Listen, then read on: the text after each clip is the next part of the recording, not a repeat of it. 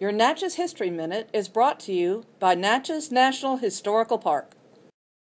Sidney V. Stratton was a noted American architect who was born in Natchez on this day, August 8, in 1845. He was the son of the longtime minister of the Presbyterian Church, Reverend Buck Stratton, and was one of the first Americans to attend the prestigious École des Beaux-Arts in Paris, along with H. H. Richardson and Richard Morris Hunt, in whose New York office he worked before establishing his own practice. In 1878, Stratton designed the New York House and School at 120 West 16th Street. The school was a charitable institution where poor women learned sewing skills. It was through this design that Stratton is credited with introducing the Queen Anne architectural style in the United States. Stratton's best preserved work is the room he designed for Company K at the 7th Regiment Armory. Company K was composed of affluent and socially prominent New Yorkers, and Stratton's design for their club room at the Armory reflected the height of late 19th century interior design. Stratton later collaborated with McKim, Mead, and White, arguably one of the most important architectural firms in America's Gilded Age.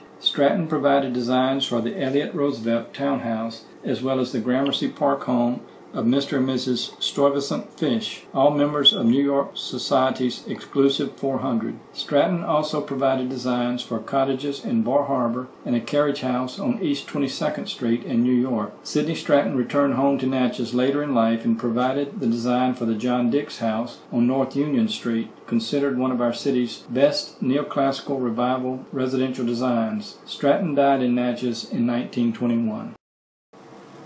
My name is Johnny Waycaster. I'm a local architect, and this has been your Natchez History Minute.